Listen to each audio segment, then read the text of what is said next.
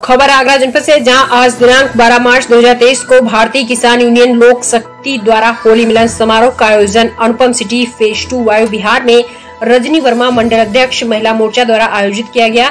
मुख्य अतिथि ठाकुर सत्यभान चौहान, राष्ट्रीय मुख्य महासचिव द्वारा अध्यक्षता की गई। सारे लोगों ने हर्ष उल्लास के साथ एक दूसरे को गुलाल लगाया, फूल मालाएँ पहनी और शुभकामनाएँ दी।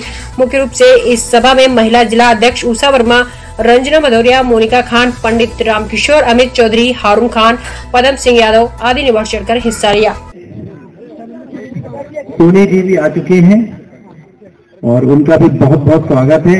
मैं चाहूँगा कोने जी का भी स्वागत किया जाए।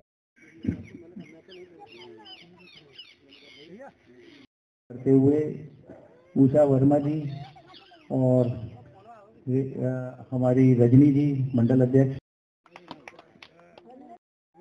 आप लोगों का बहुत बहुत धन्यवाद बहुत आभारी हूँ बहुत आभारी हूँ बहुत हाँ सर आप अपना परिचय दें।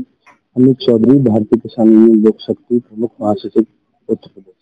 सर किस तरह का यहाँ पे आयोजन किया गया? है देखिए आप जानते हैं कि देश हमारा देश इस समय होली बहुत ही धूमधाम से मना रहा है। ऐसे ही अवसर हम लोगों को एकत्रित होने का अवसर प्रदान करते हैं और हम एक दूसरे को गुलाल लगाकर मिठाई खिलाकर इस त्योहार को मनाते हैं। तो इसी उपलक्ष्य में आज भारतीय किसान यूनियन लोक शक्ति आगरा ने यहाँ पर एक छोटा सा प्रोग्राम इस उपलक्ष्य में रखा था। और ये होली महोत्सव कार्यक्रम हम अपने, हमारे राष्ट्रीय महासचिव श्री ठाकुर सत्यवान चौहान जी की उपस्थिति में एक दूसरे के साथ में गुलाल बना रहे हैं।